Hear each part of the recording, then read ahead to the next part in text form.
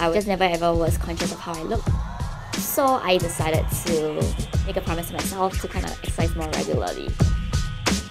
Running really allows me to firstly build my stamina. I don't like running in the gym. I feel very restricted by the equipment around me. It's also nice to run when there are things to see and also keep myself fit and healthy The first time I walked into a yoga studio with a good friend of mine, I decided to do something very different. And I did my first ever Bikram yoga. And that was when I fell in love with it. I, it really gave me the space to block out everything that's happening around me, just dedicating that one hour to myself and forgetting that's going on in life. I tend to focus better. I clear my mind each day before I start getting intense with my work. And sometimes when it gets too stressful or too intense during the day, my practice has taught me to sort of take a step back, take a deep breath, and then refocus back on the work.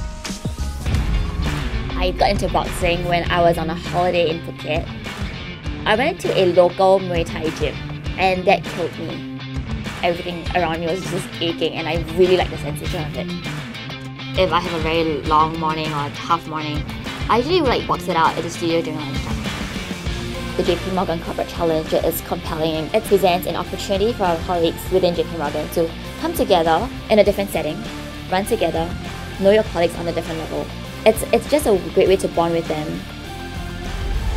Anyone can do this. You can run, you can jog, or you can even walk.